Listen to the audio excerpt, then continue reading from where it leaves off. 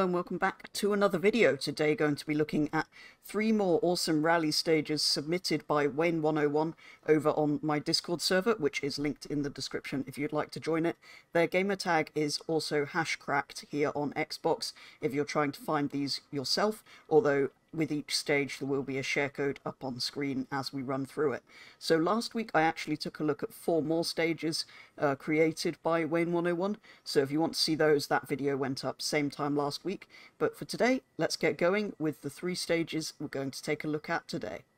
So we kick things off with the Lanurus Rally, which is the longest stage we're going to take a look at today at 7.7 miles, which is the fast stage with many long turns and three different surface changes.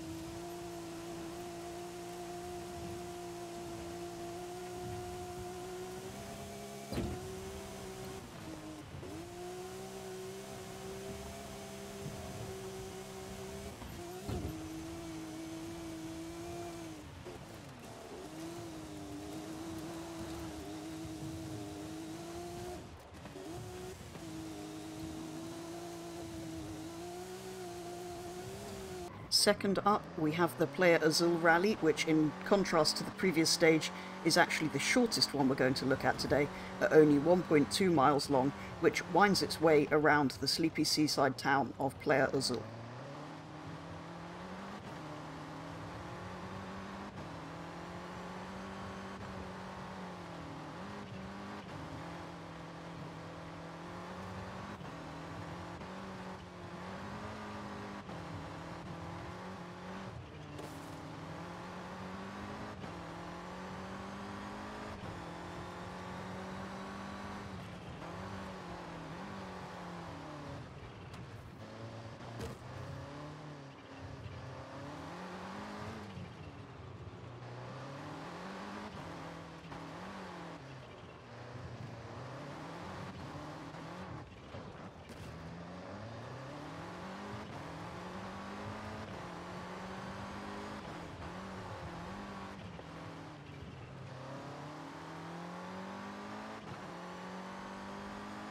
And last but not least, we have the Airfield Cross Rally, a 5.2 mile stage that starts at the airfield, winds its way through the jungle before finishing up the other side of the river.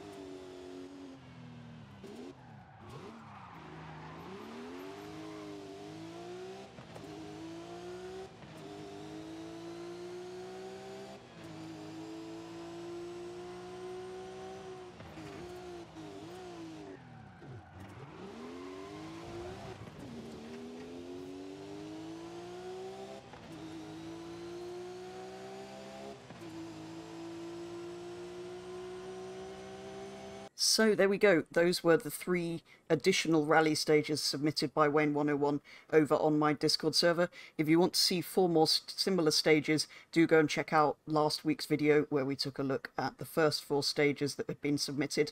As ever, if you have tracks you'd like me to take a look at, do go and submit them in the custom route submission page over on the Discord server, which is linked in the description, and I can potentially do some more videos like this taking a look at those if you're enjoying it. And hopefully as well on the way will be some more custom routes that I'll create because I am getting back into the Event Lab creator here on Forza Horizon 4 5 and rather enjoying it.